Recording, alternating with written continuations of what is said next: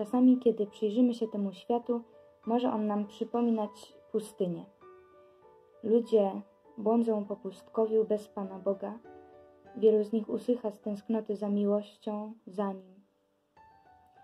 I Jan Chrzciciel był głosem wołającym na pustyni: Przygotujcie drogę Pana.